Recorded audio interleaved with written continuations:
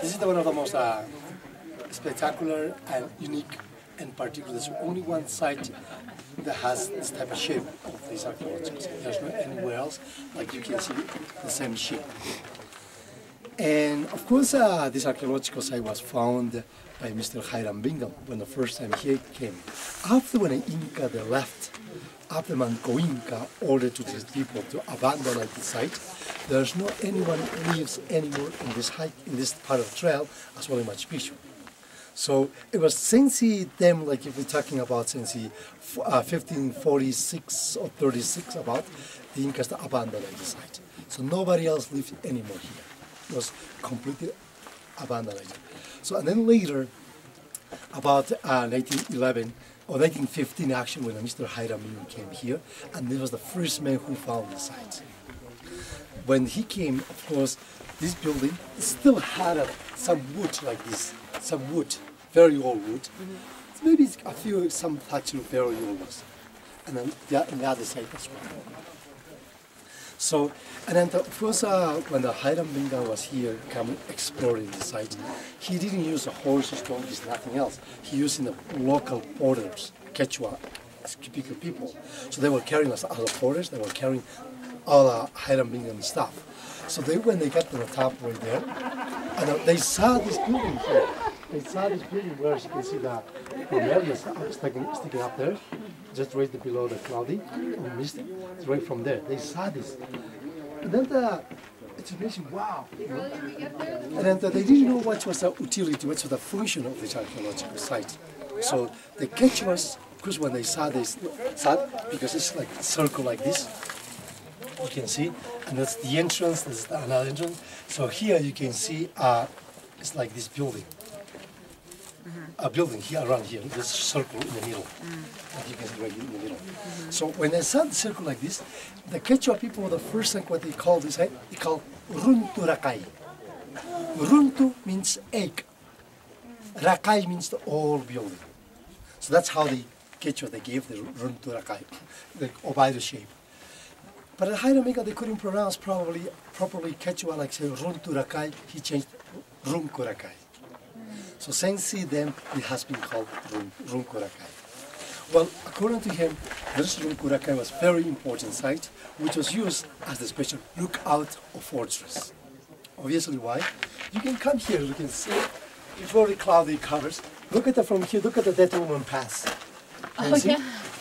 You can see directly the Dead Woman Pass from there. Oh, nice. You can zoom it up. Yeah, that's perfect. That's a difficult one pass. But if you come a little back here, guys. Did you see it? Yeah, just a little here. I want to look about. I want to show you something.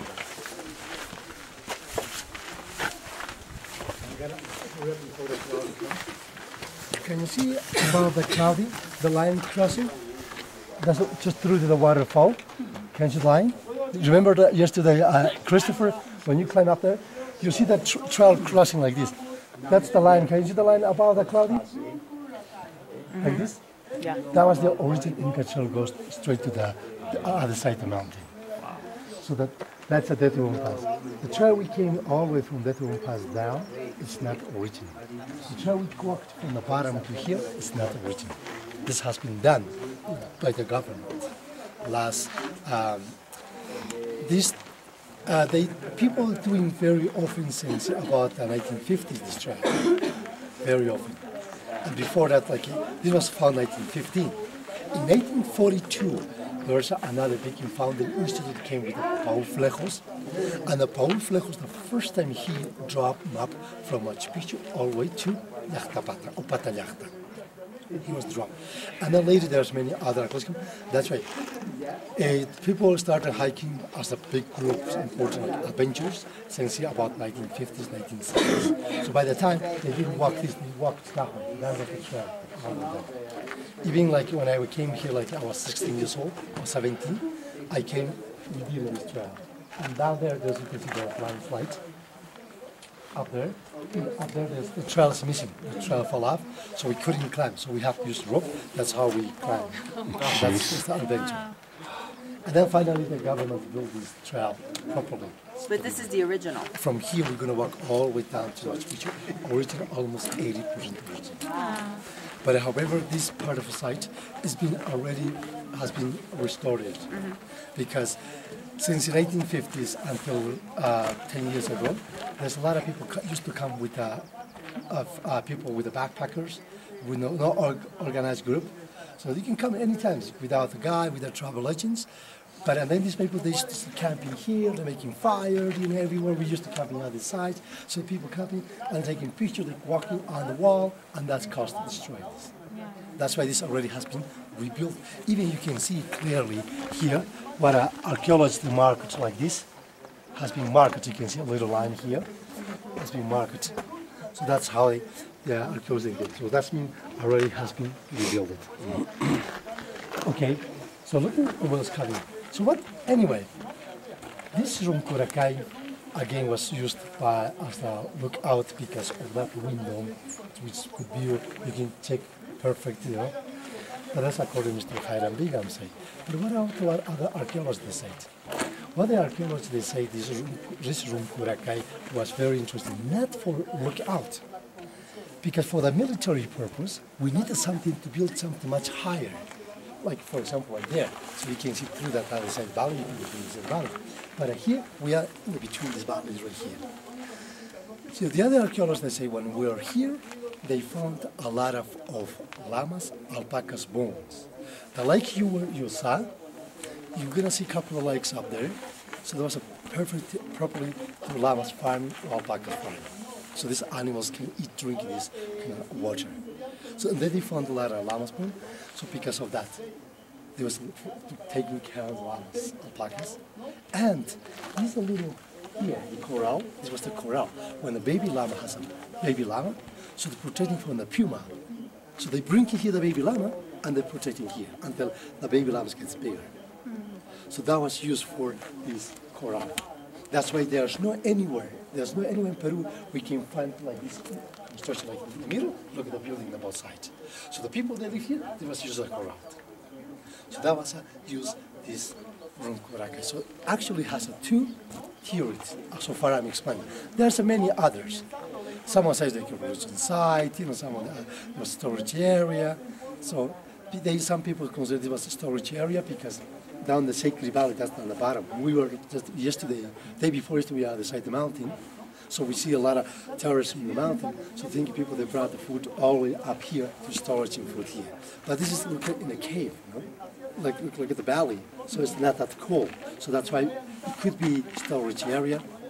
The other guys say it was a ceremonial say, religion, or like Temple of Sun, which because the shape and the other side of the walk looks like in coricancha.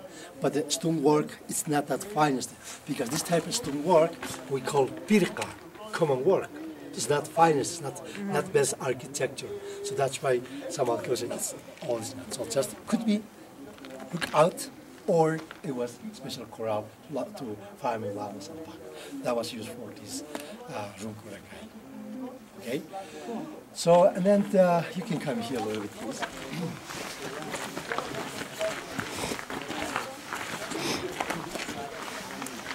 Look at this a little rectangular building, which is totally separated from this.